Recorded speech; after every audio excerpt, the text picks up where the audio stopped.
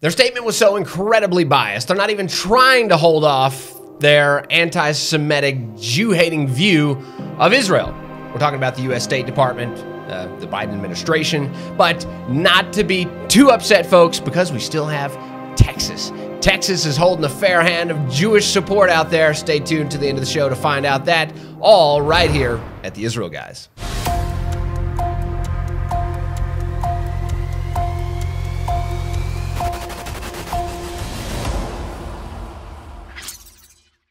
Hello and welcome to the Israel Guys, where we believe that in a world of Jew hatred, anti Semitism, propaganda, fake news, and incredible biased um, media and stories, you should connect to the true and authentic stories of Israel. We're the Israel Guys. You should subscribe if you're watching on YouTube, Rumble. If you're listening on your favorite podcast platform, go ahead and hit subscribe or follow as well. And turn on those notifications because we also have a video every Monday now. Mondays and Thursdays, you can get lots of content from the Israel Guys. And um, by the way, this content is free and if you guys want to support our work you can do so right now during only during the month of july. Anybody that signs up as a monthly donor at $25 or more is going to get one of our brand new have it on the screen there uh, tumblers. High quality incredibly i haven't even got one yet i'm so excited. Uh, so go over there to patreon.com slash the israel guys or the israel guys slash uh, israelguys.com slash donate links in the description below we would appreciate so much if you would consider supporting the Israel Guys network so we can continue keeping the content free. Um, and by the way, if you want to sign up to come to Israel, make sure you visit the website serveisrael.com. Spaces are filling up very rapidly. Okay, so we're going to start with a story that you're very familiar with and it's been covered lots on the mainstream media, and we've covered it a few times. Way too much, actually, on the mainstream but, um, media. There's a new development to this story that you need to know about, and it has to do with the U.S. State Department. Yeah. And at first, when I was putting these notes together, I thought, well, I'll just read the highlights. But then I realized that the official statement from the State Department spokesman, Ned Price, um, was pretty short, and every single word was so incredibly trying to figure out how to say this you don't have PC, to say it nice. You, know? you, can just say it the way it is. It's uh, like going along with yeah. the propaganda. I, I don't know. It's just yeah. we just celebrated the Fourth of July, and we're Americans. This is just right. hard. I, am going to read you this. Hey, we've got a piece. shocking. Okay, you're going to be Texas shocked. will save us in the end. Let's go ahead. We'll yeah, stay tuned for Texas at the very end. Stay thank, tuned. Thank, thankfully, we have Texas.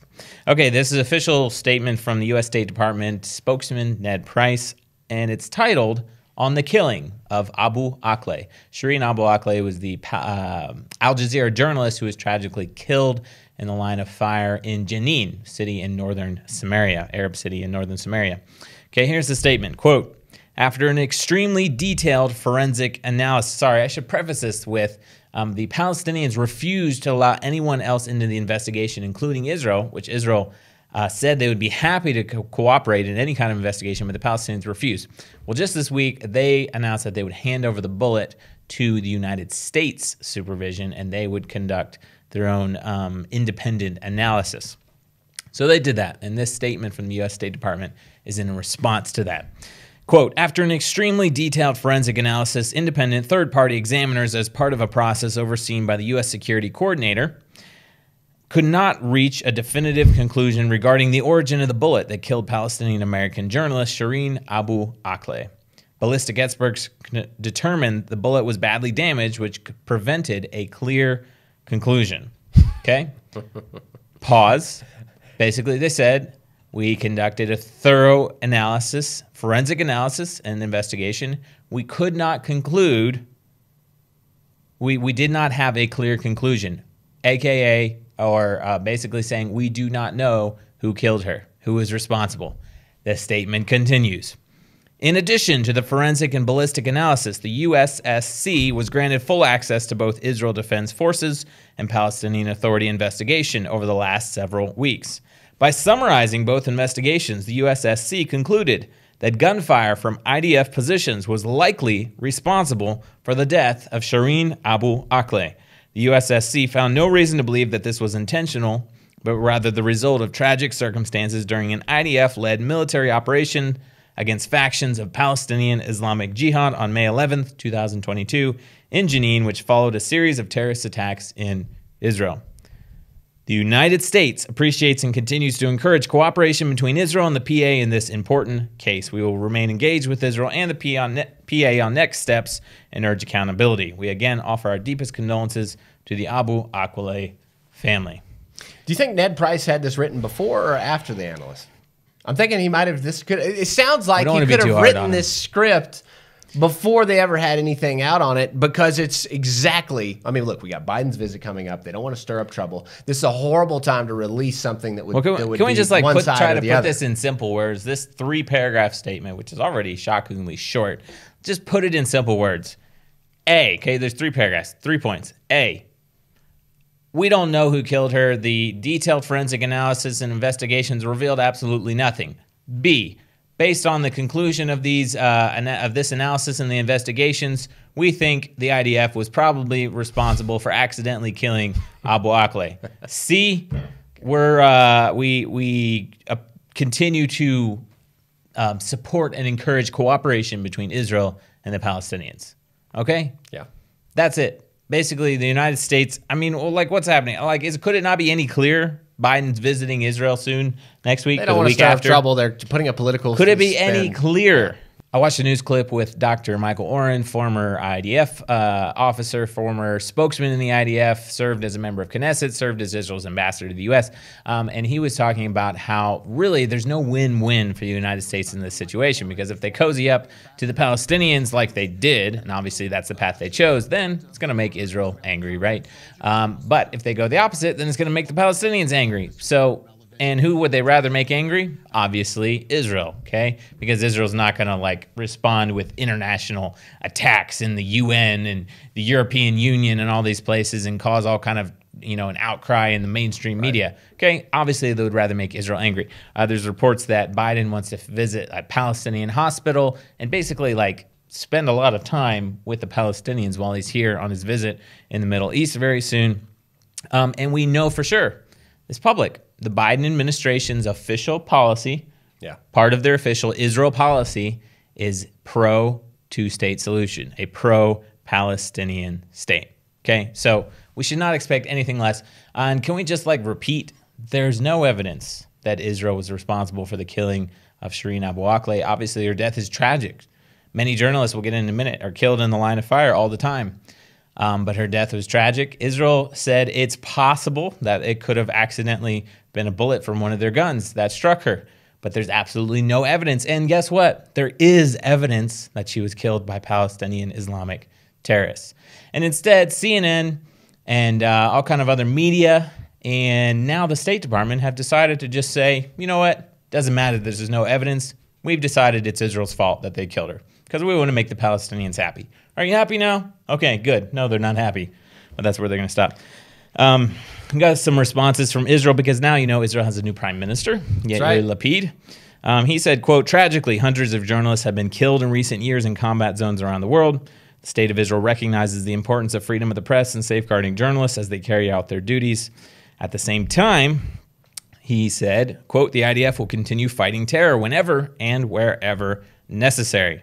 As Prime Minister of Israel, he said, I give full and unequivocal backing to the IDF soldiers who risk their lives to defend the citizens of Israel from terrorism and who work around the clock for the security of Israel. So, you know, way to go, for, way to go for him. He said, "I'm- "We're not backing down from terrorism. That's good. Uh, nobody's scaring us here because um, we're going to fight terrorism and defend the citizens of Israel whenever and wherever and however necessary." And even Defense Minister Benny Gantz, he uh, he was pretty strong too. He said, "quote It's important to emphasize that during this operational event, when Abu Akleh was killed, as in many others, hundreds of bullets were fired at IDF troops, who responded with fire of their own, own only in the direction of the sources of fire. Our troops and their commanders have the duty to defend the citizens of the state of Israel, and they have my full support to operate accordingly. At the same time, we take all the possible measures to prevent harm to uninvolved civilians while maintaining freedom of the press. Luke, I got to get into something real quick here because a lot of people don't understand the situation and they, they've heard so much about a reporter dying and they don't realize that Mm-hmm. uh, these reporters are like in the in a war zone. Mm-hmm. There's a battle going on. Um, I got to quote Al Jazeera for a moment here because this Well, is really going to lay the say, like, context of what we're about to Watch about. Dr. Michael Oren, and he said, as a former paratrooper, he was a combat soldier. Yeah. He said, a lot of the journalists, combat journalists, they they did things that soldiers were not like that Yeah. were more dangerous than what soldiers were doing Yeah. because they were trying to get the story. They would run out Right. in the crossfire, Right. Just because they're trying to get that. They got to get that, a story. That best story. a So let's listen to what Al Jazeera says here. It says investigations and video evidence show that there was no armed Palestinians in the area where Abu Akleh was killed.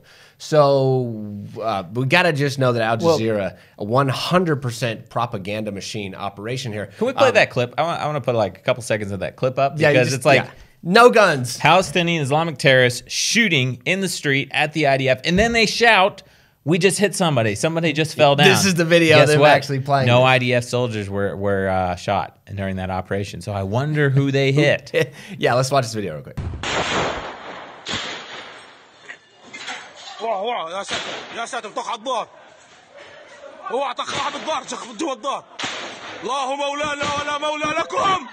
مخيم إلا. ارجع ولا ارجع.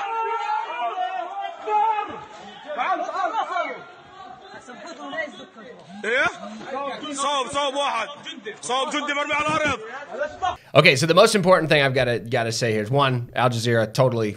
Let's give all credits go out the door. Uh, you can't listen to Al Jazeera. The fake news propaganda machine. Well, they're state funded, Qatar funded, Yeah, okay. and controlled media. They're not independent. Uh, media, secondly, just so you know. Secondly, we've got to note is is that Abu Akleh is a journalist on the line of fire. Mm-hmm. She's involved in a war scene. IDF don't just zone, go yeah. into Jenin and just play around. They're going in to take out terrorists. So, as bad as it sounds, uh, Abu Akleh is a pro-Palestinian journalist. She's standing beside a terrorist trying to get some footage that's going to go around the world as anti-Israel, right? Because the Israelis are coming into Jenin. It sells. It's what sells.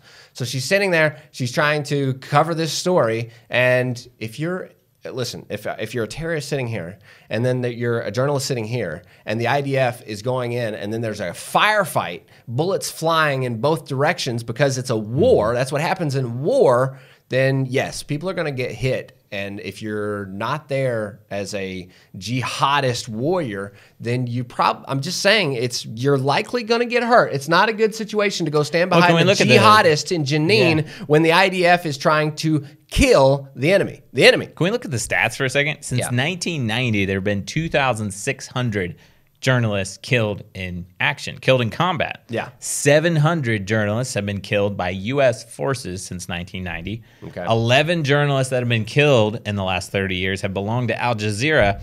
Guess how many investigations into their deaths? Well, that's the real kicker, Luke. How many investigations have there been into two into the 2,600 journalists that have been killed in the last 32 years, including 11 of Al Jazeera's journalists? Zero. Absolutely zero. Zero. That's just- zero investigations. Do you know what the definition of anti-Semitism is? Yeah, let's get that. According to the uh, Anti-Defamation League, if you hold Israel to a unique or different standard and single them out, that is by definition anti-Semitism, aka Yeah. Jew hatred. Yeah. Okay? You're holding them and singling them out to a different standard than anyone else in the world, treating them completely differently, judging them differently, investigations differently, or well, investigations at all, okay? That is outright and blatant anti Semitism. We like to call it Jew hatred because that's exactly what it is, and Israel hatred. 100%. Luke, can we just say that one more time? 2,600 journalists have combat journalists, that is. If you're in combat journalist, you have a highly likely, there's a highly likely chance that you're going to be killed because guess what? And You're like, in a yeah. combat zone. Your bullets are flying around you. You're trying to cover story. This is not your just everyday kind of person. These are people that have a unique uh, brain that want to run out into but to places where bullets are flying with without a gun. They're not part of the fighting. They're telling the story. I mean, it's a, it's a unique situation. There's not just a every day Yeah, you have I mean, people yeah. like this, and and for the good and the bad. I'm telling you. I mean, sometimes it's a good thing to get tell the story, but literally your life is on the line all the time. And for the 2,600 combat journalists that have died before, that really the world could care less about. I guess like there was no I mean, we'll there are no clear, like, uh, zero investigations. uh, it's non-political. Innocent it people die. It's tragic. We're not diminishing, you know, Shireen Abu Akleh's death at all. You know, she's an innocent civilian, um, died while doing her job, and it's tragic. Okay, it's absolutely tragic, no matter who killed her. But it's absolutely horrific to hold Israel to a completely different standard Yeah. than the 2,599 other journalists that have been killed in the line of fire. Okay. Bottom line, um, and unfortunately, the United States State Department has caved in and bowed down to this anti-Israel pressure and this anti-Semitism against Israel. Probably a lot of it has to do with President Biden visiting Israel very soon. Okay, because he's obviously trying to cozy up to the Palestinians and the Palestinian Authority. We're going to get to some good news here in just a second, but first, I got to tell you about today's sponsor for the show. Yep, we got another sponsor. Um, and this is a book that I personally read. Again, I told you we don't do sponsorships of things that we haven't read or tested um, or can get behind. Burning but Never Consumed, the Hebrew Bible in Turbulent Times, was written by an Orthodox Jewish lady just a couple of hills over from where we are right now in here, here in Judea and Samaria. Uh, she made Aliyah from the United States and lives here in Judea and Samaria. I personally read it, read it, found it a very refreshing perspective on the times we live in and a source of hope for the future. We live in very interesting times. Historians love such periods, but for us stuck in the present, there's a lot of chaos sometimes. We're talking about fake news, propaganda, wokeism. It's, you know, we feel like we're stuck in those times sometimes. Um, older voices of our culture can give us the wisdom perspective to overcome this. And one of those is the Hebrew Bible. This is about the Hebrew Bible and kind of like the, the voice of hope that it can give us into the times that we live in today. And this book, Burning But Never Consumed by Anne Levin, is a uh, new book that explores our troubled relationship with this landmark, the Hebrew Bible. Um, you can join Anne Levin on a tour of how woke culture uh, vilifies the Hebrew Bible in politics, academia, entertainment, and the media. And then the author leads us through this morass to the clarity and common sense available to us in the Hebrew Bible. There's a lot of clarity and a lot, of common sense that you can find in the Bible, especially the Hebrew Bible. So I encourage you pick up a copy of this book. Link in the description below. Easy to read, very refreshing, very encouraging. Uh, order today. Link in the description below. Super great book. Guys, let's talk about news. Texas. Texas Good news. news. Please, some good news. Yes, please some Stay good with news. us, guys. And uh, guess what? The State Department didn't have anything to do with this, uh, and this is maybe, uh, and actually the Biden administration has absolutely nothing to do with this either. And believe it or not, it's the Texas GOP. The Republicans of Texas now adopt their 2022 platform. Um, Can we you just know- comment below if you like Texas or if you love Texas or if you live in Texas? Just drop it down below. We want to hear from you guys. And we know there's a lot of you out there, okay? You know, uh, Tennessee just a few months ago passed the most, uh, the strongest uh, anti-BDS legislation in America. Which I would just like to say, as a Tennessean, uh, Tennessee and Texas, we stand hardcore in support right. of Israel. You know, the, Uh, the Florida's going to be some good competition Yeah, soon. Florida's though, coming so. in. We've got a lot Floridians, you can, you know, you can get in down there on the conversation That's right. too. That's right. that. We've got a lot of great states in America that are holding the line out there for conservatism, for Israel support, uh, for just pro-Israel uh, stance. Well, we should be the ally, Israel, standing in the Middle East, fighting Islamic jihad. And what are we doing? We're we're bashing Israel for uh, the content that we just spoke about before. When we're an ally, we're supposed to be standing with Israel. We're supposed to be supporting Israel to fight her enemies, especially when it comes to Islamic jihad. But no, we're going to go visit the hospitals of the Islamic jihad. We're going to go see how the Hamas is faring and how the PA. No, absolutely not. It's absolutely ridiculous what America is doing to its ally Israel right now. Make that clear uh, as before we go on. That's ridiculous. This should not be happening in America. They should not be treating Israel as they are right now. This is horrific. You know, I think I feel like we have like a, a little bit of a theme of like progressivism, woke culture, cancel cancel culture, anti-Israel rhetoric going on today. Yeah. Uh, but thankfully, we what we are seeing in the United States is individuals, groups, and then states, individual states, Yep. taking a stand for uh, morality, a stand for truth, and a stand with Israel.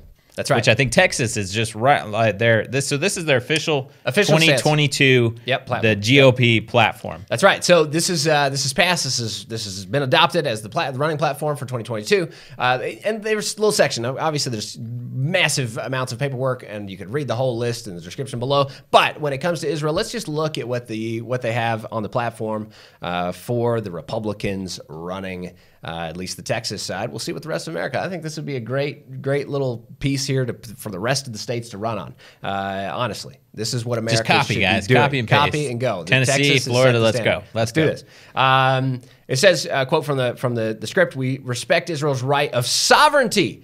Boy, That's just a Wow. great idea. Let's respect a word a Israel's lot right of people are sovereignty. scared of. Yeah, so scary word there. Sovereignty. Nobody can be sovereign. It's, it's not a woke word. It's like no, Hmm. you're going to have ter- boundaries and territory, and you're going to defend yourself. And that's what it says right here: self de- um, the determination and self defense, and and therefore support. And we're going to go through a list of what the GOP will support Israel to do. They support the U.S. embassy in Israel's relocated to in Israel to be relocated in Jerusalem. They support that move, and it's going to stay there. They it's not moving anywhere. It's Israel, uh, Israel's eternal and indivisible capital. That's you know what to me that's a lot of strength.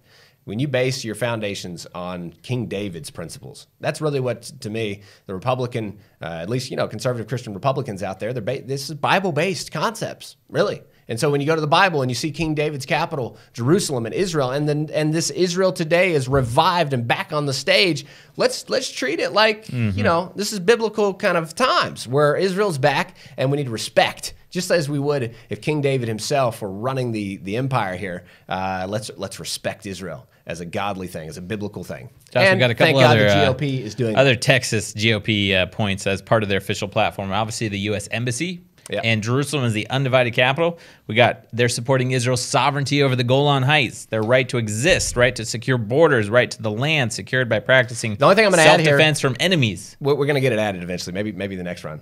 Uh, we need to get because they specifically mentioned Israel's sovereignty over the Golan Heights. They need to specifically mention Israel's sovereignty over Judea and Samaria. Yeah, that'll but, be the next. But step. they did But take the first they step, Did, they like did a make a, great step, step that nobody in the Yeah. world has No. ever taken. Yeah, let's- let's and not that do that. is prohibition of a Palestinian state within the historical borders of Israel, as it would jeopardize Israel's security and would force Israel to give up land that God gave to the Jewish people, as referenced in Genesis. My Talking about the. Hebrew Bible, guys. I mean, they went. They said as referenced in Genesis. This is Israel's um, land. Wait. Historical borders Yeah. as given to the Jewish people in Genesis. you know, good old Texans not refraining from referencing the Bible to make a point. Like Genesis, the you know the old, mo- most respected and oldest book in the world. We're actually going to use it. This Yeah. is this is what And you I mean, actually coming out to say that they they are publicly coming out in support of the prohibition of a Palestinian state. Man, that's strong. So Yeah. way to go, Way to go, Texas, and we uh, there's some other great other great points in their platform. Um, I think we got links down below if you guys want to check it out. That's right. Yep. Uh, just uh, the other big point that we got to mention in here is um, anti-BDS. They went really hard on this. They're saying this cannot be tolerated. We're not gonna. We're not gonna. We're gonna prohibit the anti-Semitic move of boycott, divestment, and sanctions. Uh, it can't happen. Can't happen. And we're gonna stand with Israel, and we're gonna make sure that this doesn't happen. So that uh, that's amazing. And I also would note uh, the 2016. If we were going to, to compare quickly, uh, the 2022 was just just, It's just happened better. now. Yeah. Uh, it's really gotten better because in 2016 they were still kind of uh, playing around with the idea of a two-state. They used two-state language. They they were support obviously Israel supportive, but uh, using language that they were going to try to uh, you know just be be supportive of Israel and in a two-state kind of lingo. Obviously, what we just read is way more advanced and and pro-Israel's uh, lingo and, and worded in a way that uh, has really uh, conveys more of a Republican approach to an ally Israel being strong and and being uh, able to stand on its own two feet in the Middle East with full backing of America as it should be. Uh, so way to go! Hats off to the GOP in Texas, and we hope That's this right. carries on uh, throughout the rest of the states. Okay, guys, we got to wrap it up, but uh, here's what you can expect from us and what you guys should be prepared for as well. Let's keep our eyes open because Biden's coming to visit Israel and the Middle East pretty soon here. We're going to keep our eyes open at exactly what's going to be happening there. You'll get the full report. Make sure you subscribe. Um, don't expect anything better from the Biden administration or during his visit than what the State Department's official statement already said about blaming Israel for the killing of the Al Jazeera journalist. But if you're from Texas, way to go. Give yourselves a high five, a pat on the back. Make sure you drop a comment down below if you're from Texas. Way to go, guys. Uh, don't forget to pick up a copy of Burning But Never Consumed, the Hebrew Bible in Turbulent Times. Amazing book. Link in the description below. And any new monthly donors on Patreon or at theisraelguys.com for uh, the network. Any new monthly donors that are $25 or above will get one of our brand new uh, tumblers. Amazing, high quality. I'm looking forward to getting one of these myself. Guys, make sure you subscribe, get that conversation going down below. Make sure to tune out the fake news and anti Israel propaganda and tune into what is actually happening here in the heartland of Israel. We'll be back next week. We're the Israel guys.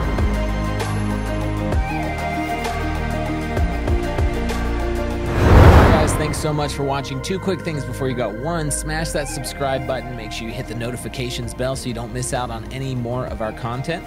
Secondly, if you want to help us produce more stories and authentic truth straight from Israel's heartland, you can do so at patreon.com slash the Israel Guys or at our very own website. It's theisraelguys.com. Both links are in the description below.